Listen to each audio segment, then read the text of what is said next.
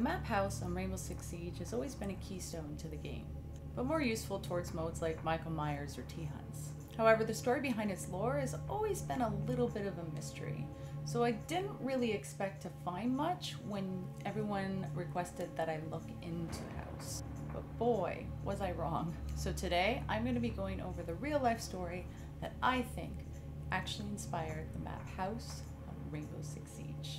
On August 10, 1969, tragedy was about to strike LA twice in two days. At this point, all the headlines of the newspapers read about the Tate murders, where famous actress who was eight and a half months pregnant, plus her friends, were viciously murdered in their rental home.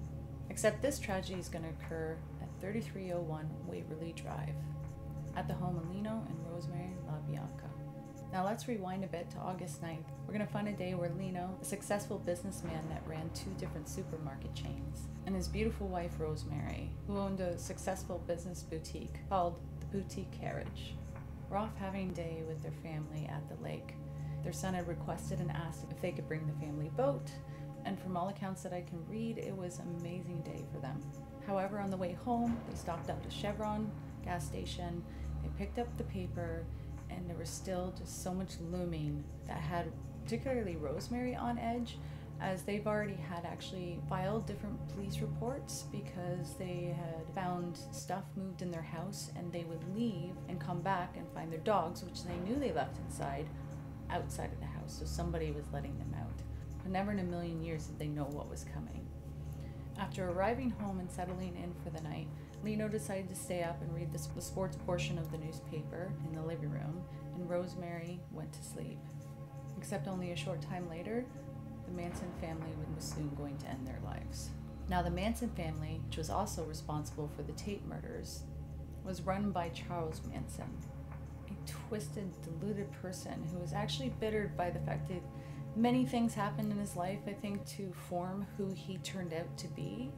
But when it came to these murders in particular, it is reported that he became obsessed with the Beatles' White Album, particularly Helter Skelter, which is based off of a ride, actually, a twisted slide, which I thought was very interesting.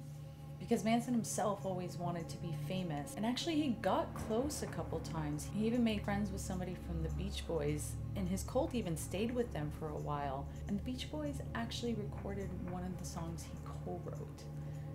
But unfortunately for Manson, his troubled past, his attitude, it all fell through for him. And he ended up going around with his cult and then Helter Skelter, like I said, that song in particular. I think there was also a song called Blackbird. But the lyrics of Helter Skelter, he started just just preaching about how they meant different things. It just turned into a portion of the driving force for him and his cult to commit these horrendous acts. That included jumping into that white Ford and going over to the LaBiancas and murdering them. There's much speculation on why they picked their home. It's recorded that there was a party that Manson and his cult attended at the neighbor's house, and in the later years, there was reports from the family that actually Leno himself, on the night of the party, had a run-in with Manson. But for the most part, it's documented that he came back just because the area was familiar to him.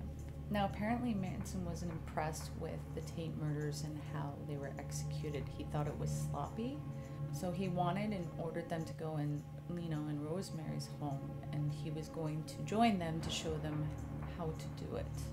Now, as Leno sat there reading his newspaper, he was ambushed by them, and Rosemary awoke to this noise. Now, they promised them that they wouldn't hurt them and let them live, that they were just going to rob them. But unfortunately, this was never true. So they bound Leno in the living room and they subdued Rosemary in her bedroom. Now, there's definitely more horrible details to go along with it. Just gonna end it with the fact that it's reported that Leno figured out that they weren't being truthful about letting them live, and he tried to fight back. But then, at that point, they ended his life. Rosemary herself, hearing that from her husband downstairs, also tried to fight back, to which she was subdued as well, and they took her life. Now, at this point, the Manson clan got a. It is. They're just twisted people. And they ended up writing different words in blood on their walls and also writing Helter Skelter on the refrigerator door. It is noted they did this which they also did at the Tate murders because they're trying to deflect off of them and blame other parties or situations because their whole motive was political from you know the helter skelter and the lyrics and what they got from it. But either way their bodies were found the next day by their son and their daughter.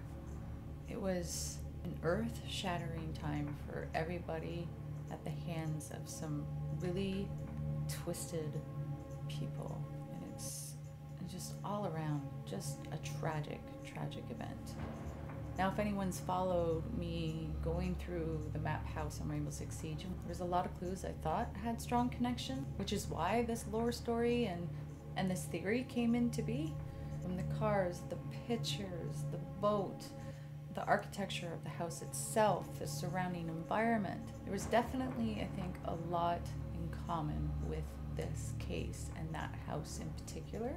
I know for me personally, when it comes to actually playing this map, the boat being moved outside, the fact that what looks like the Manson's car is in the garage now, the picture of Rosemary being uh, there's there was a lot of stuff.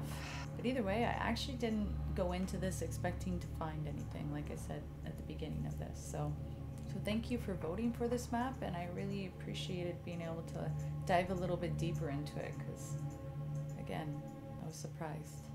But on that note, that kind of wraps up this week. We are starting a whole new lore map next week, so that announcement on which map actually won will be tomorrow. And until the next time, I hope you guys have an absolutely fabulous day. Bye.